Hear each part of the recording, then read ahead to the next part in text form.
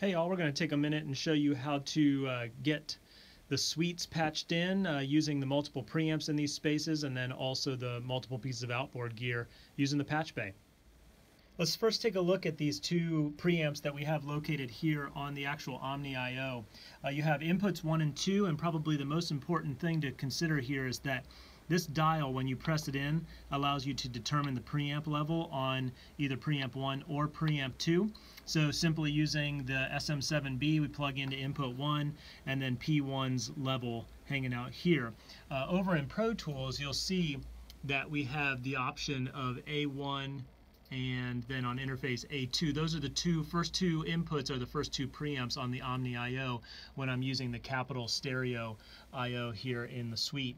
So I set that thing to A1 and we'll go ahead and arm that track inside of Pro Tools and then when I adjust the preamp here you can see input level we can adjust that preamp up a little bit and you see level hanging out there. If you want to patch in a compressor these two or an EQ these two preamps actually have an insert option you can see hanging out right here.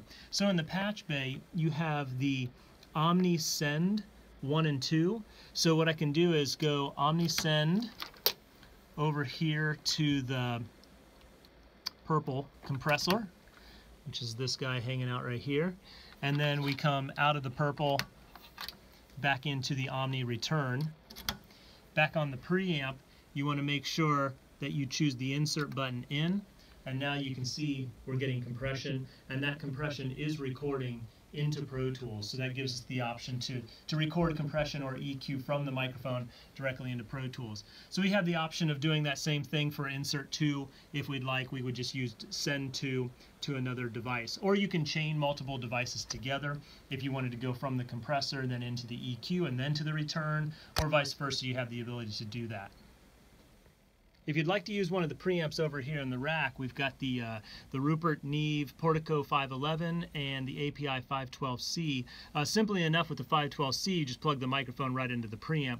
But this input, mic input right here, brings us uh, microphone level up here to the to the Portico. So we'll go ahead and use that.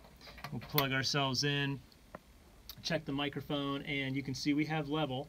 And then to patch that in you need a patch cable over here. You will see way down here on the bottom you've got the 511 and the 512 so here's the 512 output. You then have to patch that into one of these Omni line inputs and you've got four places that you could go. So if I go into input 1 I still keep Pro Tools set to A1 but then over here in the Omni I.O., I need to make sure I'm on pre 1, but then switch this over to line, there we go, line input. And then you can see I have that level hanging out.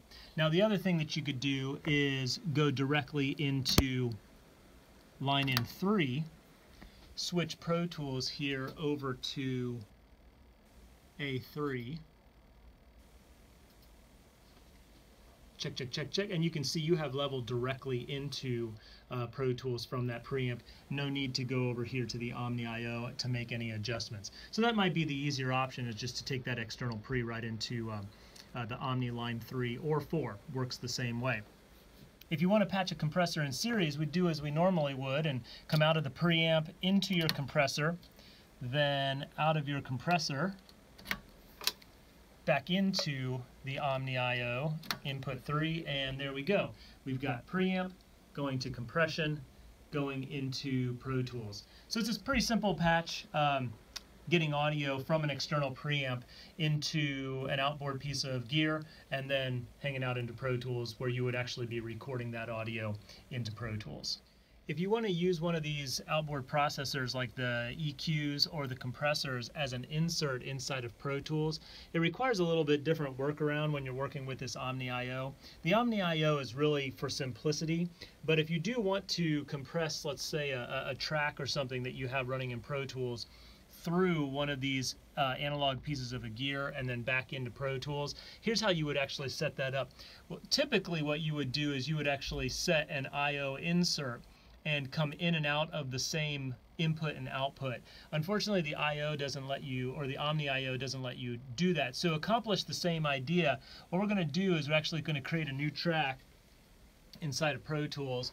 Uh, we're just going to create a mono audio track uh, next to this uh, this audio. So I have uh, just a mono boom instrument that I would like to compress. I want to compress that using the, the purple. So what I would do is I was actually send that thing out a physical output.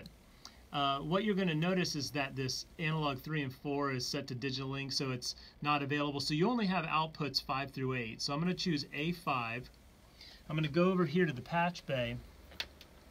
And right here you see you have your Omni outs. So if we go to 5, 1, 2, 3, 4, 5, we can then run that patch into our purple compressor, right? And then what we're going to do is we're going to come out of that purple compressor and again run into uh, one of the line inputs. In particular, I'll just go into line input 3 because it's a little bit easier to deal with. And then on that new track, we'll have a, we'll assign that to A3. So I throw that thing into monitoring mode. And now what's what I'm hearing is this first track playing back out into the purple and then coming back in on this second audio track where I could hit record and record that uh, that signal out uh, using that outboard uh, compressor uh, from Pro Tools. So you can use that as an insert that way. A little bit of a workaround. Um, there's other ways to do it in Studio F. This is the way you have to do it uh, to use that outboard processing uh, processing with the Omni I/O.